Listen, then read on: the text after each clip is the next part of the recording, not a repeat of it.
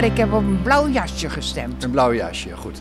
Dan lijkt me dat duidelijk. Maar kent u de verkiezingsuitslag al? Nou, meneer, ik eh, zie heel slecht. Ik moet het van een ander moet ik het hebben. Maar van Almo heb ik nog niet. eh, ik weet wel dat die partij een zeteltje meer heeft. Ja, er zijn drie partijen die hebben eh, alle drie vijf zetels. Het CDA, VVD en lokaal Almelo samen. Maar ze hebben geen meerderheid meer in de gemeenteraad. Oh, oh. Ach ja, ik vind het ook wel goed dat er geen meerderheid is, dat het meer verdeeld is. Dan hebben de kleinere partijen ook eens een keer een klein beetje te vertellen. Want de grote overheersen altijd. Ehm Harry de Olde. En wat is uw motivatie om op hem te stemmen? Nou, hij komt vaak voor de minderheid op. En eh, meestal zijn die mensen dat nodig. Dus u vindt hem een echte volksvertegenwoordiger. Ja. Ja, ik heb op eh, de VVD gestemd. En heeft u daar een speciale reden voor? Ehm, in principe eh, zitten een aantal leden in de VVD die ik eh, persoonlijk ken. En om die reden en overtuiging heb ik ook op de VVD gestemd. Als de stemmen kloppen, dan is eh, de VVD in Almelo de grootste partij geworden. Ja. En heeft dus in principe recht om het voortouw te nemen in de collegevorming. Ja, vind ik eh, een goede zaak. Nou, ik zal u vertellen, helaas niet. Ik ga altijd stemmen, kan ik gerust zeggen. Maar we waren hier eh, tien dagen in eh Hoog Heksel. En eh, op die manier, ja, precies in die tijd waren wij weg. Eh, ik heb nog niet gekeken, want ik had daar geen tijd voor. Mensen ehm, zijn op een of andere manier niet gemotiveerd om te stemmen. Hoe, hoe kan die motivatie nou verhoogd worden volgens u? Ehm, ik denk dat de landelijke politiek ehm, ehm, meer geloofwaardig moet worden. En dat dingen die beloofd worden ook eens nagekomen En worden. verklaart dat de opkomst van de, de lokale partijen?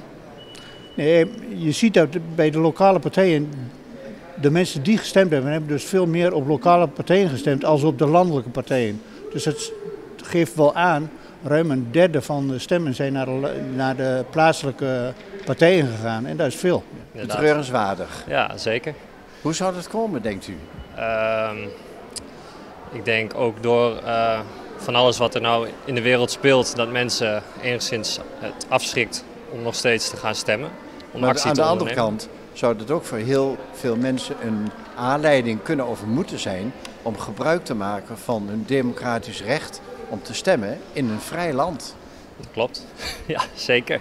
Maar ik weet niet hoe dat, eh, hoe dat hier in Almelo eh, bij de meeste mensen. Hoe is het opkomstpercentage volgens u het beste te verhogen?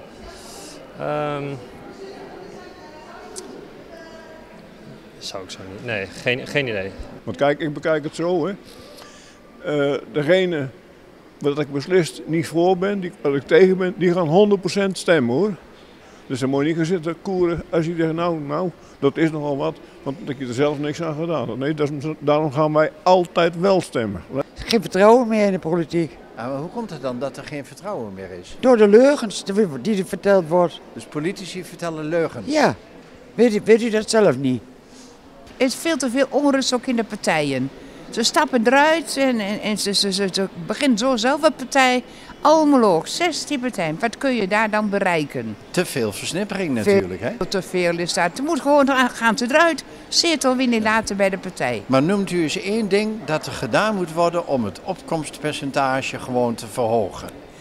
Toch beter luisteren naar de mensen. Zo de stad doorlopen. De paden op, de lanen in, ja. op bezoek bij de mensen. Nou ja, kijk, zoals in de stad ook ze, eh, eh, zaterdags en in het weekend eh, ook door.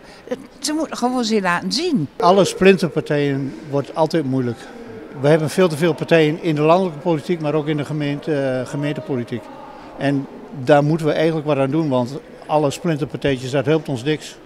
Wat kan er dan volgens u aan gedaan worden tegen zoveel eh, splinterpartijen, zoals u dat noemt? Kiesdrempel. Echt een kiesdrempel. En als mensen vooral landelijk uit de politiek gaan, niet een eigen partij kunnen beginnen, maar eh, de zetel inleveren bij je eigen partij. Ik vind dat u eh, lid moet worden van een politieke partij om uw ideeën een eh, breed draagvlak te geven. Nou ja, misschien wel. Misschien word ik wel een keer uitgenodigd. Dank u wel. Graag gedaan.